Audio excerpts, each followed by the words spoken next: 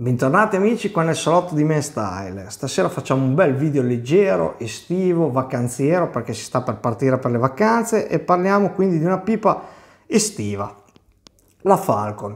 Eh, non, credo che tanti di voi la conoscano, io devo ammettere la mia ignoranza, fino a poco tempo fa non ne sapevo neanche l'esistenza, eh, l'ho vista per la prima volta nel video proprio dell'amico Bob che ne aveva trovato uno usato in un mercatino e l'aveva fatta vedere Dopodiché, eh, parlandone nel, nel, gruppo della compagnia della forca, eh, trovai un amico appassionato, Gianluca, no, che ne decantava le lodi e, e, quindi dietro al suo consiglio mi decisi a comprarla perché comunque era una pipa che mi incuriosiva.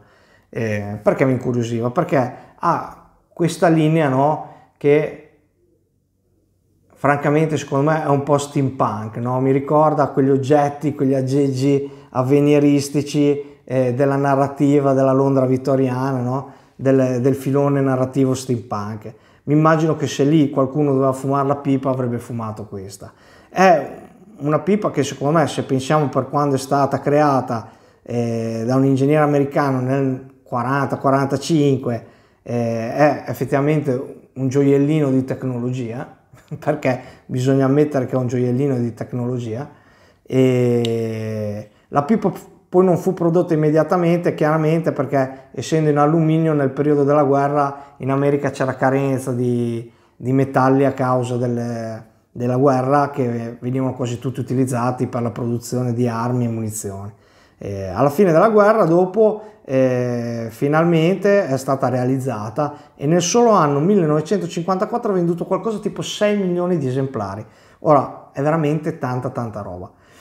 Ora so che i puristi probabilmente eh, rabbrividiscono anche solo al fatto di chiamarla pipa, eh, però effettivamente se pensiamo che comunque a un fornello in radica, un foro d'entrata, un foro d'uscita ci si fuma il tabacco, è a tutti gli effetti una pipa.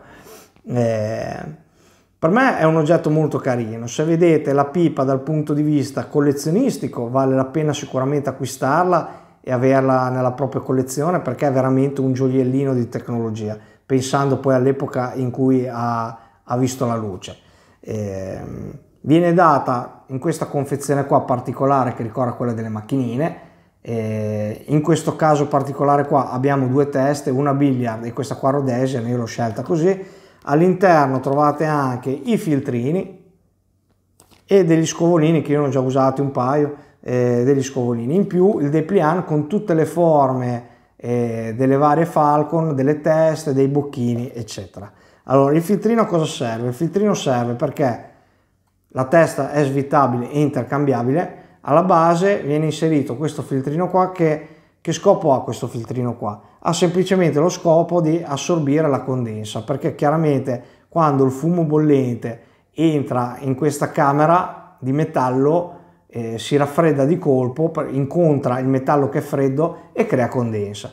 Quindi per evitare la formazione di acqua ruggiola e tirare su l'acqua ruggiola hanno messo giustamente alla base questo filtrino che non è altro che un pezzo di scovolino eh, che assorbirà la condensa e il fumo raffrescato dal metallo salirà lungo il cannello e lo potrete assaporare un po' più fresco diciamo e vale la pena. Allora intanto guardiamo. Ha il buchino in silicone.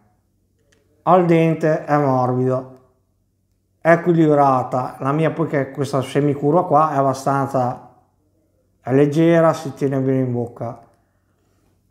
E quindi il buchino si può estrarre chiaramente. È un po' più difficoltoso da estrarre di quelli classici perché oltre che entrare nel bordo deve anche entrare nel cannello. Quindi praticamente è molto preciso perché si deve infilare qua dentro e deve entrare anche lì dentro. Infatti vedete che si è un po' mangiato della plastica nel rimuoverlo. Infatti adesso entra già un po' meglio.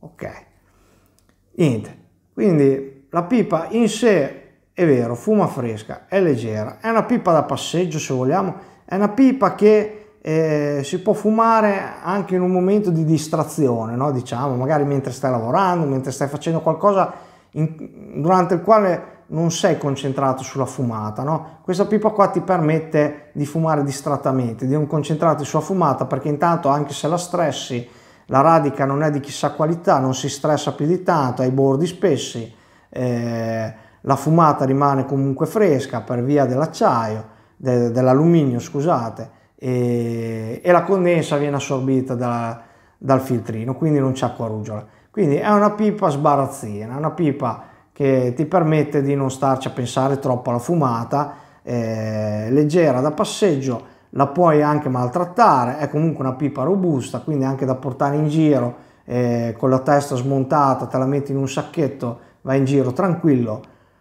Quindi che dire, eh, la consiglio? Ni, ni perché comunque la qualità della radica è quella che è.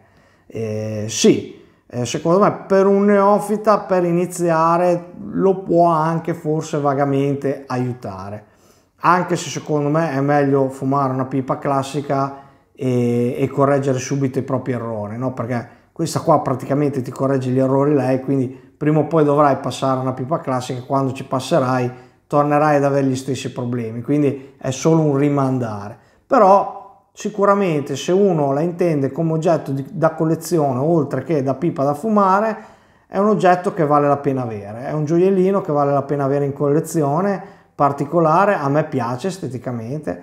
E...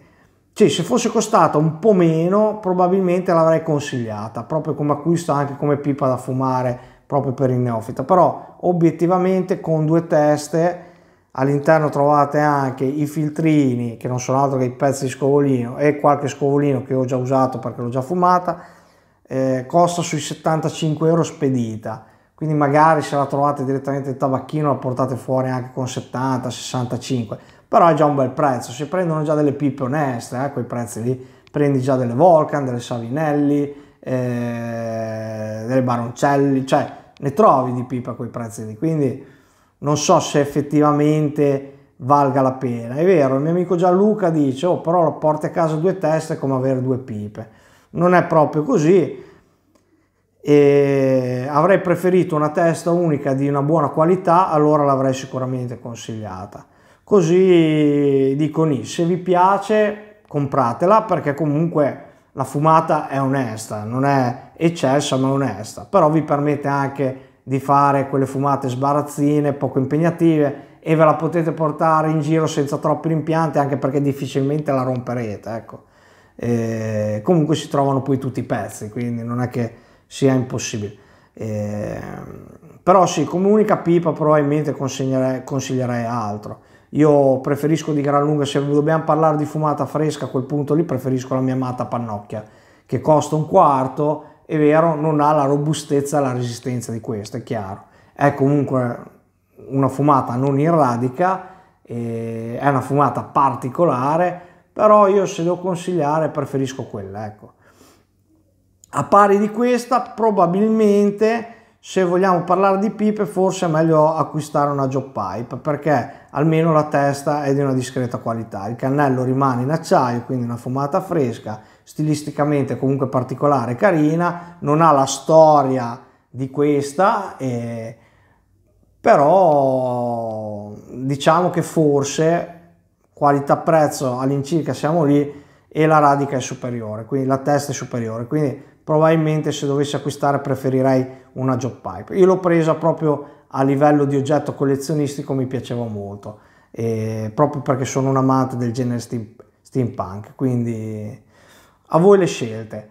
Il video è stato rapido, non vi ho intrattenuto troppo, era un po' che non salutavo Rametto anche se era presente, mettete un like per Rametto perché lui c'è sempre, vi vuol bene, eh, fa parte di noi, il canale dietro è nato grazie a lui, se non ci fosse stato lui non sarebbe nato probabilmente. E vedete voi se comprarlo o meno la Falcon, io ve l'ho fatta vedere, ehm, a me piace, se vi piace compratela. Gianluca non ti incazzare perché non ho, non ho cantato le lodi, eh, non l'ho neanche affossata, dai, so, ho fatto una via di mezzo, diciamo così. È carino anche il logo sul bocchino del falco. Va bene, vi saluto, ci rivediamo una settimana di ferie e poi ci rincontriamo. Va bene? Grazie amici, alla prossima!